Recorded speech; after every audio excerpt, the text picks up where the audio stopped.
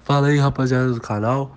O vídeo de hoje eu vou trazer aqui pra vocês, né, que o Pep Guardiola ligou pro Neymar, tá ligado? O que, que vocês acham? Vocês acham que o Neymar vem pro City ou nada?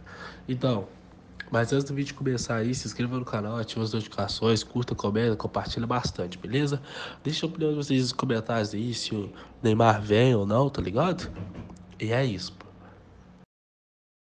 Guardiola ligando pro Neymar. Alô, Neymar é o Pepe. Essa informação veio do jornal L'Equipe, tá? Que eles falam é que o Pepe ligou para ele para entender qual o estado de espírito dele, para dar uma sondada ali.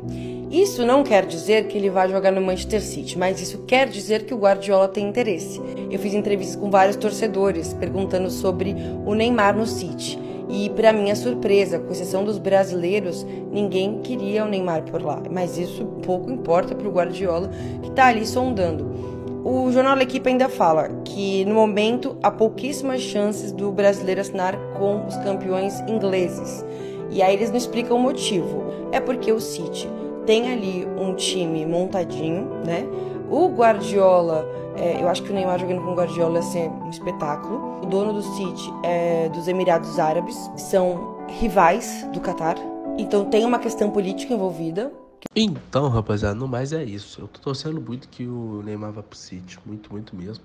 Porque isso, Neymar ia desenvolver bem, tem muito futebol pra queimar ainda aí na Europa, entendeu?